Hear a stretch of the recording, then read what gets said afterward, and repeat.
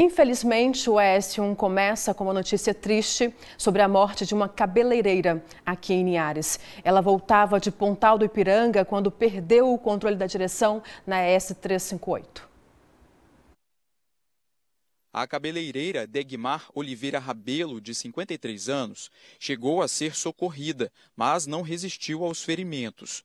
O acidente aconteceu por volta das nove e meia da noite de ontem, aqui neste trecho da rodovia ES 358, entre o centro de Linhares e Pontal do Ipiranga. Segundo os familiares da vítima, a cabeleireira seguia de carro aqui pela rodovia no sentido centro de Linhares quando o acidente aconteceu.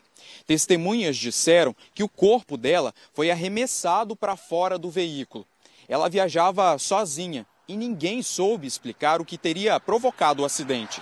As marcas da frenagem ficaram no asfalto e o carro foi parar dentro de uma propriedade. A cerca foi destruída. Familiares da vítima estiveram no Serviço Médico Legal de Linhares no início da manhã de hoje para fazer a liberação do corpo, mas estavam muito abalados e não quiseram gravar entrevista. Degmar tinha um salão no bairro Novo Horizonte, aqui em Linhares, e deixou uma filha. Degmar Oliveira Rabelo será enterrada às 4 horas da tarde no cemitério São José, no bairro Planalto, aqui em Niares.